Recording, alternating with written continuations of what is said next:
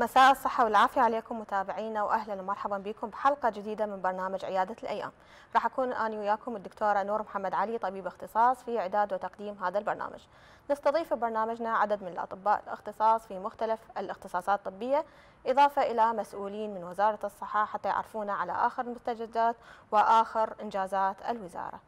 تقدرون تتواصلون ويانا عبر أرقام البرنامج الموجودة أسفل الشاشة في حال وجود أي مقترح أو أي سؤال أو أي استفسار يخص صحتكم. خلونا نشوف هذا الفاصل وراجعين وياكم. أهلا بكم متابعينا مرة ثانية. ويانا اليوم بالاستوديو الدكتورة سنان غازي مهدي طبيبة اختصاص ومديرة قسم الأمراض الانتقالية مركز السيطرة على الأمراض الانتقالية في دائرة الصحة العامة وزارة الصحة. أهلا ومرحبا بك دكتورة. أهلا وسهلا دكتورة الآن نحن على وشك فصل الشتاء وتنتشر أمراض عديدة خلال هذا الفصل منها مرض الإنفلونزا. نحب نتعرف اليوم على ماهية هذا الفيروس وكيفية انتشاره. تفضل شكرا جزيلا لهذه الفرصة وإحنا فعلا مقبلين وبدينا نعم. نقول نلاحظ أكو حالات من آه، مرض الإنفلونزا. قبلها آه، أأكد على حضرتك مساء الصحة والعافية لكل مواطنينا. والصحة والعافية هي ماكو أحسن من عدة وخصوصا إحنا هذه السنوات واجهنا الكثير من المشاكل الصحية نعم. ونتمنى لكل مواطنينا الصحة والعافية إن شاء الله آه، مرض الانفلونزا آه، فعلا إحنا مقبلين عليه وبدينا تظهر عندنا حالات من الانفلونزا مع بداية موسم الدراسة. نعم مرض فيروسي يحدث في كل سنة مرة أو مرتين بالسنة وأكثر من مرتين أحيانا لأن هو هذا الفيروس آه، من نوع اللي يغير آه، الجين كل عدة أشهر. نعم. يعني ممكن هسه آني يصير عندي انفلونزا وبعد ست أشهر سبعة أشهر. أصاب بانفلونزا مرة ثانية. نعم. فدائما نقول لنفسنا مو تمرضنا مو صارت عندنا. لا ممكن. نعم. ممكن الفيروس يغير ثوبه نقول نعم. بمصطلحنا الشعبي. ممكن يتغير بعد عدة أشهر فتصير موجة انفلونزا ثانية. لنوع جديد من نعم. الطفرة الجديدة لهذا الفيروس. طبعا دكتورة هو العديد من الفيروسات تعطي نفس الأعراض والأمراض يعني الأعراض العامة للمرض اللي إحنا نسميها flu-like illness. تعطي أعراض مشابهة للإنفلونزا. لكن هي مختلفة ممكن تكون. مئات الفيروسات تنطينا هذا ال- النوع من الأعراض يعني هو كإنفلونزا بي ثلاث أنواع نعم. ال A وال B وال C نعم. اللي يصاب بها الإنسان عادة هو ال A وال B ال C ما يصاب بها الإنسان لكن فعلا أكو أمراض أخرى يعني ال- الكوفيد نعم هو يبدي بأعراض شبيهة بحيث هسه. إحنا اللي يصاب بنقول بموجة إنفلونزا أو بأعراض إنفلونزا. قد يكون كوفيد بالضبط. وقد يكون إنفلونزا. وقد يكون فيروسات ثانية نعم. ما لها علاقة بهم اثنينهم لكن أيضا يسبب نفس الأعراض. أيضا الحصبة الحصبة الألمانية والجدري المائي كلها بأعراض تبدي تشبه الإنفلونزا. التهاب الكبد الفيروسي. نعم. اللي هو إذا كان نوع اللي ينتقل عن طريق الماء والغذاء أو ينتقل عن طريق الدم. أيضا. يبدو أعراض شبيهة بالإنفلونزا. خلينا اليوم نعرف متابعينا على أهم الأعراض والعلامات الخاصة بمرض الإنفلونزا وكيف نفرق بين فيروس وآخر. كمرض إنفلونزا تبدي بأعراض هي تبدي برشح. نعم. عادة يصاب الجهاز التنفسي العلوي. والسفلي. نعم. تبدي بالانف. والبلعوم وثم ينزل يكون إلى الرئه نعم فهذه الأجزاء من الجسم هي اللي تصاب بالمرض. تبدي برشح بسيط تبدي بحرارة. وهي مهمة جدا واحد نعم. يكون يحس شوي نقول الجسم نحول. مسخن مدوهس. تعبان نحلان ما بيحل تبدي أشياء بسيطة فاخذها نعم. يومين أو ثلاث أيام وبعدها تبدي الحرارة ترتفع أكثر وتبدأ الأعراض قد تشتد أكثر. نعم. وممكن تنزل إلى التهاب يصير عندنا ذات الرئة نعم. إذا ما صار علاج مناسب بالأيام الأولى لهذا ال- ال- الشخص. نعم. وممكن إنه هذا الشخص يتعالج بالبيت وممكن يحتاج إلى دخول مستشفى أحيانا كثيره وهي مسجله عالميا وفي العراق. ممكن يحتاج إلى إنعاش رئوي نعم. إذا ما تم علاجه بالأيام الأولى أو لدى هذا الشخص مشاكل صحية تساعد على زيادة خطورة المرض. نعم. فلذلك مهم جدا أن الإنسان ينتبه إلى نفسه ويراجع أقرب مؤسسة صحية وإلى طبيب اختصاص بهذا الموضوع ويهتم بأخذ العلاج المناسب بالوقت المناسب. دكتورة بالحديث عن العلاج للأسف نلاحظ أغلب مواطنينا ومراجعينا يأخذون أدوية قوية ومضادات حيوية متعددة في حال شعوره بأعراض انفلونزا بسيطة. وهذا أكيد راح تأثر على مناعته وبالتالي تؤدي إلى مقاومة دوائية. بحيث من يحتاج هذه المضادات الحيوية راح تأثر عليه بحيث ما تشتغل عنده مستقبلا. إضافة إلى للأسف انتشار ظاهرة الأبرة الخبط نلاحظها بكثرة. في عياداتنا إنه مريض راح أخذ الأبرة الخبط وبالتالي أدت إلى مضاعفات عديدة ما تعليقكم دكتورة لذلك أنا هسه قلت لما يحس الإنسان بأعراض يراجع نعم. أقرب مؤسسة صحية أو طبيب اختصاص نعم. حاليا طبعا إحنا عندنا الأطباء في كل مكان المؤسسات الصحية موجودة في كل رقعة جغرافية عندنا آه، عيادات الأطباء أصبحت في كل مكان نعم. ماكو آه، عيادة ماكو منطقة هسه ما بها عيادة متخصصة نعم. لطبيب آه، معين الموضوع هي قلنا فيروس نعم. الفيروس يحتاج أحيانا فقط علاجات داعمة نعم. يعني هو يصير عنده حرارة ممكن خافض حرارة يصير عنده رشح ممكن أدوية علاج الرشح نعم. لكن مشكلة أما الشخص راسا يبدي يضرب الأبر الخبط نعم. أو يبدي ياخذ أبر مضادات نعم. حيوية يعني نقول ذات فعالية عالية جدا وهذه اولا إذا اخذ طبعا ابر الخبط بها أنواع من الأدوية اللي هي ممكن تزيد شدة المرض, المرض. نعم. يعني ما راح تساعده حتى تقل ممكن تفيده خلال ساعة ساعتين وبعدها تبدي مشاكل هذه نعم. الأبر الخبط صح. وموضوع أخذ المضادات الحيوية لكل شيء وفي كل وقت هذه تجعل آه، الجسم ما يتقبل العلاج لما يكون في أكو ضرورة نعم. راح تصير عندنا آه، تفاعل لهذه الأدوية بحيث تفقد حساسيتها بعلاج البكتيريا اللي هي تحتاج علاج. راح يصير مضاد بحيث ما يتقبل نعم. صعوبة بعلاج هاي الحالات. وهذه تحتاج إلى دخول مستشفى وتحتاج إلى انعاش رئوي إذا ما تمكنا من علاج بوقت مناسب. لذلك نقول شوية صبر. مواطن يراد له شوية صبر يومين أو ثلاثة. نعم. بعلاجات بسيطة أحيانا بغذاء صحي بسيط أحيانا براحة يوم أو يومين. يرتاح شوية حتى يقدر يكمل الأيام الثانية بتكون شدة المرض أقل عليه نعم. بس إذا ما يتعامل معها بهدوء وصبر خلال أول يومين ممكن تصير صعوبة بعلاج هاي الحالة بالأيام الأخرى نعم دكتورة نلاحظ من كلام حضرتك أنه الفيروس إلى مدة حياة معينة طبعا. تزيد تدريجيا وتنقص أيضا تدريجيا فيحتاج إلى فترة زمنية وبالتالي هو يشفى المريض. يعني هو ماكسيموم سبعة نعم. أيام. نعم. متابعينا الكرام خلونا نشوف هذا الفاصل وراجعين وياكم.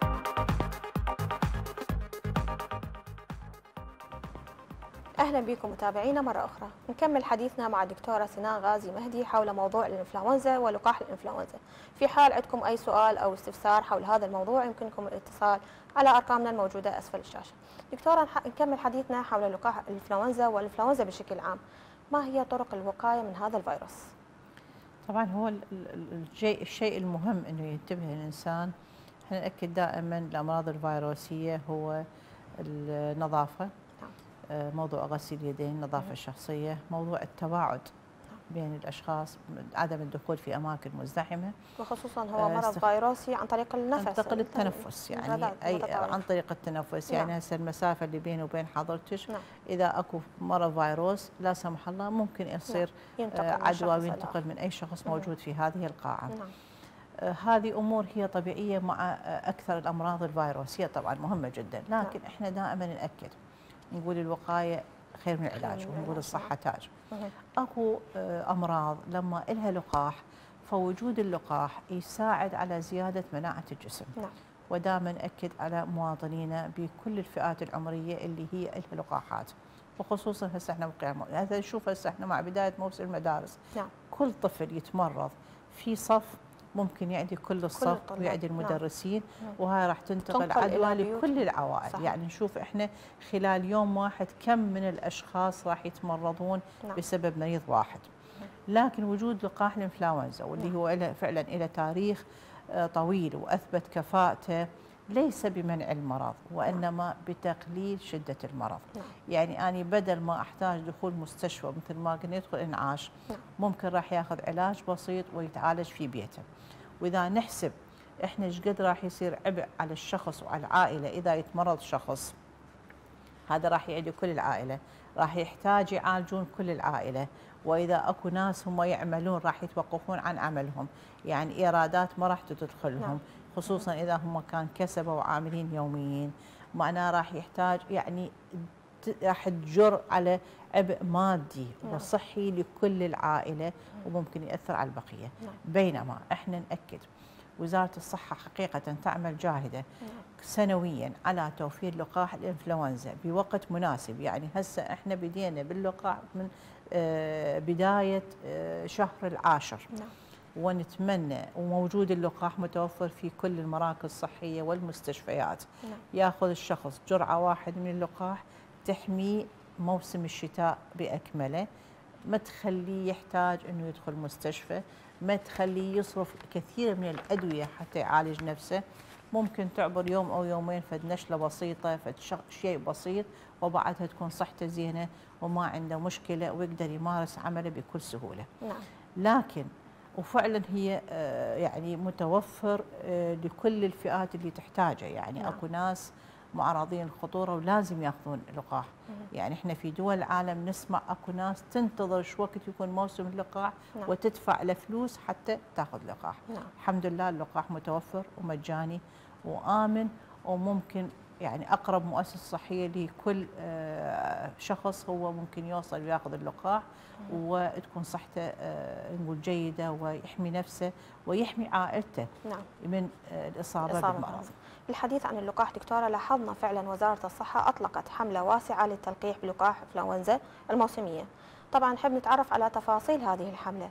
وهل هي موجودة كل سنة لكن لاحظنا الآن وجود كميات كبيرة من اللقاح ومتوفرة في منافذ تلقيحية أكثر من الأعوام السابقة حدثينا دكتورة عن. اللقاح آه، الوزارة جاهدة من سنوات نعم. آه، إنه على توفير لقاح سنويا. آه، بعد جائحة كوفيد نقول كوفيد أخذ آه، عبء نعم. كبير على الوزارة وعلى الحكومة العراقية حاليا لا السنة آه، استطاعت الوزارة أن تكمل توفر اللقاح بكميات إن شاء نعم. الله تكون مناسبة إن شاء الله وتفي بالغرض بالنسبة للناس اللي يحتاجوه آه، متوفر حاليا بكل المحافظات بكل كم دوائر منفذ الصحة تلقيحي تقريبا دكتورة كم منفذ تلقيحي تقريبا يعني في بغداد والمحافظات؟ في- كل محافظة في كل محافظة حوالي آه، 50 بالقليل يعني نعم. في كل رقعة بشكل. عام بشكل عام بشكل عام يعني نحسب عندنا 20 دائرة صحة نعم آه، أعتقد حدود 200 منفذ صحي حاليا موجودات ما نعم. ضابط الرقم تماما.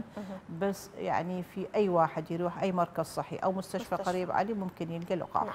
ما راح طيب، يكون خلينا- بعيد عن المتناول نعم خلينا نتعرف على الفئات المستهدفة أو الفئات الهشة أو الأكثر عرضة للإصابة بمرض الإنفلونزا ودول إحنا نأكد عليهم نعم يعني عندنا آه، نبديهم من الأطفال نعم أطفال أقل من خمس سنوات. دائما ناكد انه ياخذون اللقاحات اللي يحتاجوها حتى يكملون عمرهم بصحة وعافية دكتورة ربما مشاهد يسأل أنه من أي عمر ممكن إعطاء اللقاح للطفل من عمر ست اشهر ممكن نعم. ينطوا نعم. من ست اشهر إلى خمس سنوات. أي فئة من هاي نعم. الفترة هذه هو ممكن يتمكن يأخذ اللقاح اللقاح. واللقاح امن لهذا العمر نعم عندنا الشيء الجهة المهمة أيضا النساء الحوامل. نعم. لأن هذه من تأخذ لقاح ليس لنفسها فقط. نعم. وإنما الطفل اللي الطفل اللي في. بطنها. أيضا راح يأخذ حماية من هذا اللقاح. نعم. هذا جزء. الجزء الآخر لو أصيبت هذه الحامل بالإنفلونزا نعم. ممكن هاي الإنفلونزا تؤدي إلى الإجهاض أو الولادة المبكرة. نعم. فاللقاح راح يحميها راح يخليها تكمل حملها بأمان إن شاء الله. نعم. عندنا الفئات اللي هم عندهم أمراض مزمنة نعم. الضغط السكر. الربو القصبي الضيق ال- ال- التنفسي عندنا أمراض نعم. مزمنة يصير عندهم ضيق تنفس. آه، هذول أمراض القلب هذول كلهم يحتاجون ياخذون لقاح إنفلونزا. نعم. كبار السن 65 فما فوق. نعم. مهم جدا ياخذون لقاح إنفلونزا حتى لا تجيهم نوبة إنفلونزا شديدة. نعم. وملاكاتنا الصحية بالتأكيد يعني نعم. هم يعني هم موجودين بالمجال عملهم ممكن تجيهم حالات إنفلونزا للعدوى. فذول إذا يأخذون لقاح راح تحميهم خلال فترة عملهم تحميهم وتحمي أيضا تحمي مراجعيهم والمرضى مراجعيهم. أيضا نعم. وتحمي عوائلهم لأن نعم. هو راح يكون ناقل لمرض من المستشفى إلى عائلته نعم. فبس من يأخذ لقاح راح تحميه له وتحمي المواطنين اللي موجودين بالمستشفى وتحمي عائلته لما يرجع إلى البيت بسلامة. متابعينا الكرام خلونا نشوف هذا الفاصل وراجعين وياكم. أهلا بكم متابعينا مرة أخرى. دكتورة نكمل حديثنا حول لقاح الإنفلونزا. ما مدى فعالية هذا اللقاح؟ لقاح إنفلونزا قلنا هو ما يمنع المرض نعم. لكن يقلل شدة المرض يقلل الحاجة إلى علاجات يقلل الحاجة إلى دخول مستشفى. ممكن 60% ينطي حماية. لهذا الشخص. من أن تكون عنده مضاعفات أو تكون الموجة كلش بسيطة أحيانا بعد ما يأخذ اللقاح الشخص يكون عنده أعراض آه، نقول إنفلونزا بسيطة أو أعراض رشح بسيطة تاخذ له يومين ثلاثة وبعدها. تمشي الأمور طبيعية نعم مدى مأمونية هذا اللقاح يعني البعض جداً. يتخوف من مأمونية اللقاح هل هو آمن يعني الحمد لله مع كل الظروف اللي يمر بها البلد نعم. لكن موضوع اللقاحات آه، يمر بعدة مراحل حتى يوصل للمواطن نعم. في أكثر من لج- لجنة في وزارة الصحة وأيضا مع جهاز ساندة مع الوزارة تتأكد من نوعية اللقاح اللي يوصل ويصير تدقيق لهذه النوعية وفائدته وهل هو محدد طبعا هذه كلها تعتمد على مؤشرات منظمة الصحة العالمية نعم. يطلق يتم فحصه. يعني ما يطلق اللقاح إذا ما يتم فحصه في آه، مختبرات متخصصة بهذا المجال وتاخذ وقت حتى تفحصه وبعد أن يفحص اللقاح أيضا أكو لجنة ثانية تؤكد أو تدقق ما تم تنفيذه خلال نعم. هذه الخطوات. يلا ينزل اللقاح يعني إحنا تأخرنا حوالي آه، شهر تقريبا من نعم. وصل اللقاح إلى العراق وتم فحصة وتدقيق الخطوات هذه حتى ينزل المؤسسات الصحية نعم. لين حتى نتأكد من أمان اللقاح وعدم وجود مشاكل آه، قد تؤثر على صحة المواطن. نعم. عندنا مواطن من بغداد اسمه علي محمد يقول أنا أخذت اللقاح. هل أنا محمي الآن بنسبة 100% من الإصابة بمرض الإنفلونزا؟ لا إحنا قلنا هو ما يمنع المرض وإنما يعطي حماية تقريبا 60% أو أكثر أحيانا حسب تفاعل اللقاح مع جسم الإنسان. آه دكتورة زين حدثينا عن اللقاح نفسه. هل هو يقي من نوع واحد من الإنفلونزا أو عدة أنواع كفيروسات؟ هو قلنا الفيروس هو إنفلونزا هو نعم. ايوبي نعم. والاي أيضا بعده أنواع. اللقاح اللي موجود آه، طبعا إحنا العراق ضمن شبكة. عالمية لفحص جينات الفيروس اللي يخلوها باللقاح. نعم. يعني سنويا هسه إحنا موصل حالات انفلونزا نعم. يتم التحقق من الجينات اللي موجودة وترسل إلى هذه الجهة الم- ال- ال- المتخصصة بفحص هذه الجينات حتى تضاف إلى اللقاح بالموسم القادم نعم يعني ما اللقاح مو نفسه كل سنة ينزل متغير وإنما نعم. دائما بحسب يصير تغيرات. بالفيروس تضاف إلى اللقاح. حتى تعطي حماية من هاي أوسع. الطفرات الجديدة نعم. وتعطي حماية أوسع مهم. فدائما اللقاح متغير ومتجدد حسب حاجة الإنسان وحسب النوعيات اللي تحدث خلال الموسم هذا. نعم. فلذلك هو يعطي حمايه لأكثر من نوع. يعني حوالي ثلاث أو أربع أنواع اللي هي جديدة راح تنطي حماية, حماية. لها وتحدث سنويا. يعني موجود هسه اللقاح عندنا مو نفسه راح يكون السنة القادمة ولا هو نفس اللي كان موجود بالسنة الماضية. نعم. دكتورة سؤال أيضا متداول. هل هذا اللقاح يحمي أيضا من كوفيد 19 لا. يعني لقاح كوفيد يختلف عن لقاح انفلونزا. أكو أفكار حاليا إنه يحاولون يجمعون اللقاحين بلقاح واحد حتى تصير شكة واحدة يعني ما نعم. تكون آه، مرتين ياخذ الشخص وإنما أكو دراسات بهالموضوع هذا نعم مواطن آخر اسمه حسن من من ديالى آه، يسأل أنه أرسل لنا يسأل عن حساسية عنده بالح- من الحليب والمكسرات الفستق والجوز يقول هل يمكنني تلقي اللقاح؟ ممكن يعني إحنا آه، يعني مواطنين يتخوفون أحيانا عنده حساسية من شيء معين نعم. ويتصور هاي الحساسيه ممكن تأثر على أي مادة ثانية من اللقاح. فما له علاقة وإنما لو كان ماخذ لقاح آه، إنفلونزا سابقا نعم. وصاير عنده في تحسس معين من هذا اللقاح ممكن يتأثر هذه. فعادة آه، نبلغ يعني صارت عندنا مع كوفيد باعتبار كان لقاح جديد نعم. إنه يبقى الشخص في المؤسسة الصحية نص ساعة حسب وضعيته. إذا صارت عنده اعراض لا سمح الله حتى يكون يتم علاجه داخل المؤسسة الصحية وإذا لا صحته زينة فماكو نعم. مشكلة الموضوع هل من محاذير لهذا اللقاح؟ يعني منو اللي نحذره أنه يأخذ هذا اللقاح؟ اللي يأخذ اللي ما يأخذ اللي ما. يأخذ نعم. فقط اللي عنده تحسس من اللقاح نعم واللي عنده حمى وأيضا الكثير يسأل عن موضوع الحمى أحيانا إحنا هم عندنا تخوف وكل الناس تخوف يعني يقول أنا هسه عندي فد حمى بسيطة أو نعم. بداية رشح بسيط. هو آه، ال- ال- المتعارف عليه إنه ماكو مشكلة. نعم. إذا كانت حد نقول زيادة طفيفة جدا بدرجة الحرارة ما تأثر لكن ممكن أيضا هو ياخذ خافض حرارة في نفس الوقت حتى لا تكون يصير عنده ارتفاع أكثر بدرجة الحرارة. نعم. دكتورة خلينا نعرف اليوم المواطن هل هو يؤخذ بجرعة واحدة أم كل سنة يحتاج المواطن يأخذ جرعة ثانية؟ ومن يحتاج إلى الجرعة الثانية الشخص اللي هو ما ماخذ لقاح نهائيا ممكن ياخذ جرعة ثانية بعد شهر. نعم الشخص اللي ما اخذ لقاح سابقا مهم. بس ياخذ جرعة منشطة سنويا حسب. المستجدات نعم. باللقاح. مهم.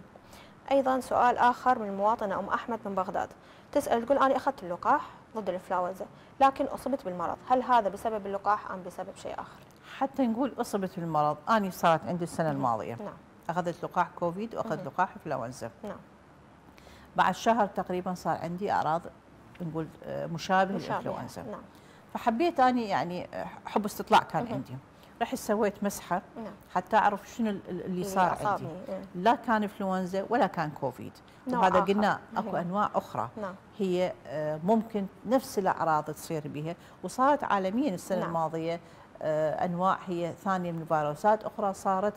هي مشابهة. للانفلونزا هي لكن هي ليست إنفلونزا ولا كوفيد بعض الأبحاث يقول أنه 600 فيروس ممكن تنطينا نفس الأعراض اللي هي مشابهة للإنفلونزا يعني عددت الأشياء الموجودة عندنا نعم. حتى التهاب الكبد الفيروسي ممكن يبدي أعراض إنفلونزا هي كلها. تبدي هي كلها الأمراض الفيروسية تقريبا تبدي أعراض إنفلونزا بسيطة وبعدها حسب نقول التطور. السريري نعم. لهذا الشخص مهم. والفحص المختبري. حتى نعرف شنو المسبب لهذه. الأعراض دكتورة خلينا نتحدث عن سلسلة التبريد أو من لحظة وصول اللقاح للعراق لحين تلقيه من المنفذ التلقيحي بالنسبة للمواطن كيف تتم هذه العملية وكيفية خزن هذه اللقاحات وكيف تصل للمواطن من الأمور المهمة اللي نتاكد نتاكد من اداها حقيقة وتتابع إنه هي موضوع سلسلة التبريد يعني اللقاح من يوصل يوصل باجهزه تبريد معينة وبدرجة حرارة معينة والمخازن ما تستلمها إذا كان أكو تغيير بدرجة الحرارة نعم. يعني هم واحدة من الأشياء اللي نتاكد منها المخازن في وزارة الصحة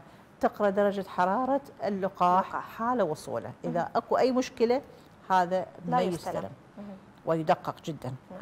بعدها هي أيضا في مخازن ال- وزارة الصحة آه، اكو سلسلة تبريد ودرجات حرارة معينة لحفظه نعم. ويفحص بنفس الدرجات اللي هي المفروض يفحص بها خلال النقل من مخازن وزارة الصحة إلى مخازن دوائر الصحة أيضا ضمن سلسلة تبريد. معينة نعم داخل المؤسسات الصحية أيضا لازم أكو آه، درجات حرارة معينة ثلاجات معينة تكون موجودة في هذه المؤسسات حتى تبقى تحافظ على درجة الحرارة أي تغيير بها طبعا كل الناس اللي يعملون في هذا المجال هم مدربين على كيفية التأكد من نعم. درجة حرارة اللقاح وحتى يتأكدوا من وصولها إلى المواطن بدرجة الحرارة المناسبة يعني الحمد لله هاي السنوات نهائيا ما صارت عندنا مشكلة في هذا الموضوع وبالعكس يعني الجهات المسؤولة عن هذا الموضوع هي تتابعها بدقة نعم. وحاليا آه، أكو يعني متابعة مركزية لهذه سلسلة التبريد نعم. يعني ب- بالوزارة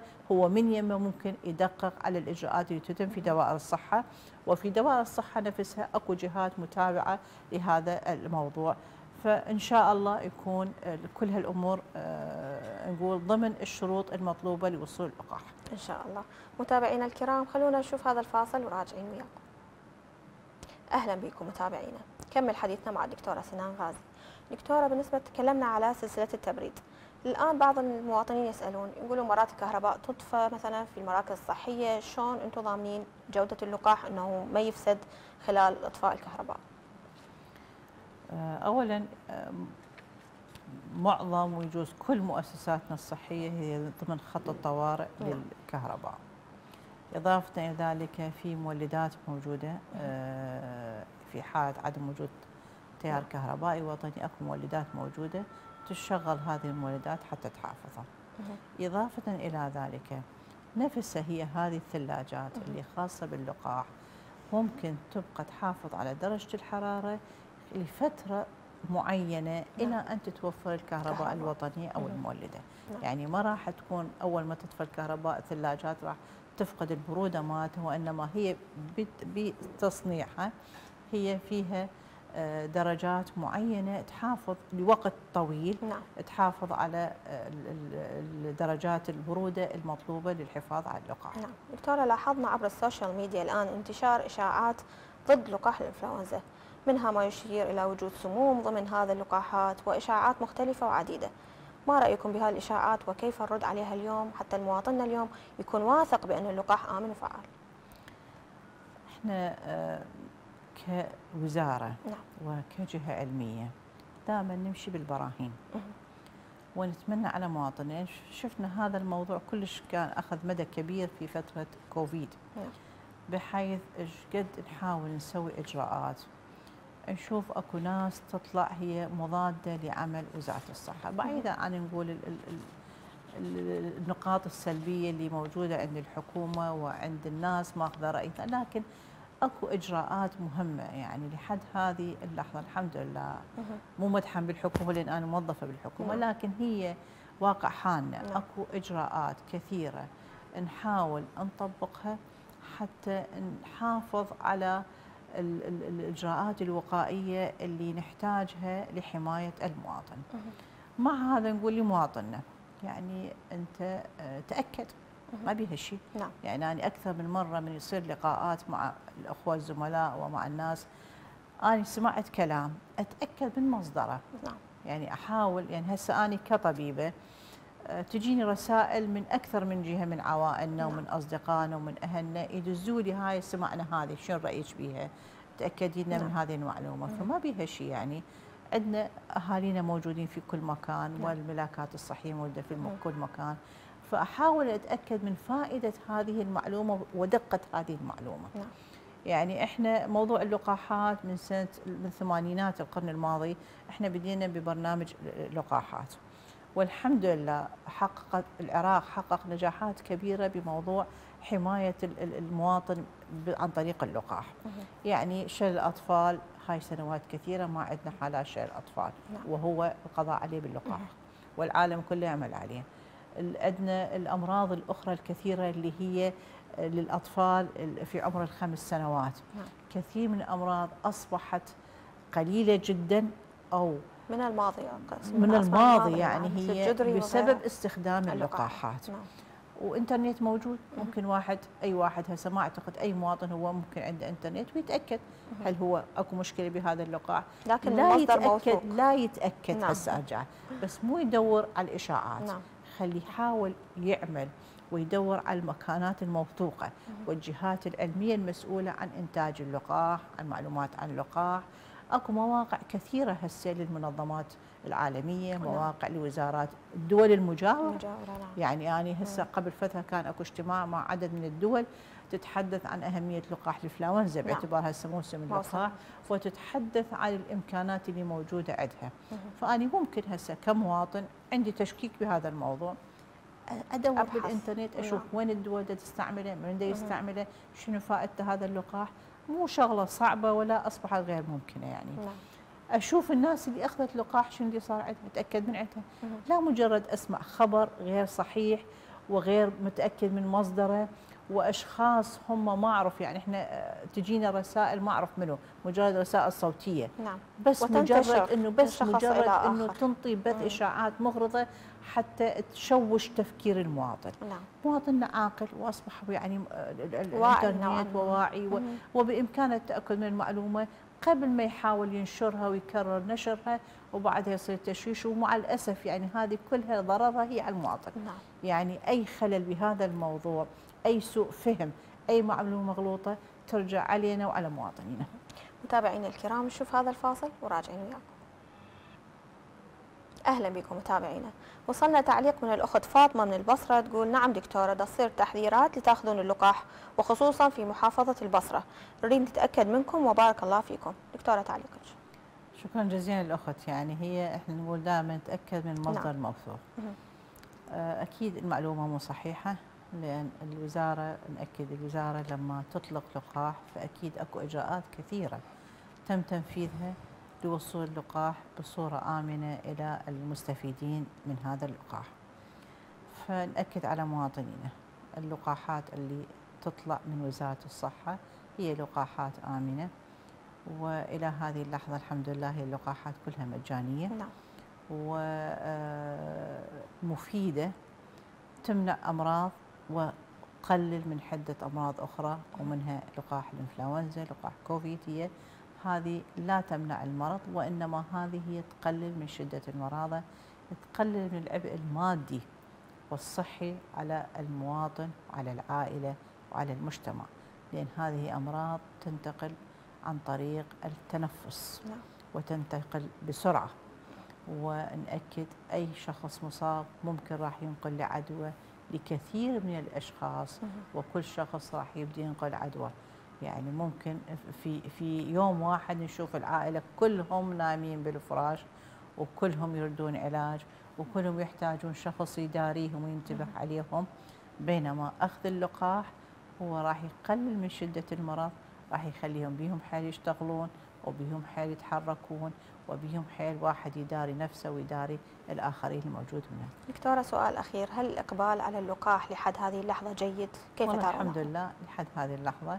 أكو أقبال جيد. ونتمنى إنه كل الناس اللي يحتاجوا يستفيدون من عنده. حتى نقول موسم الشتاء راح يكون أقل آه، عبء على المواطنين.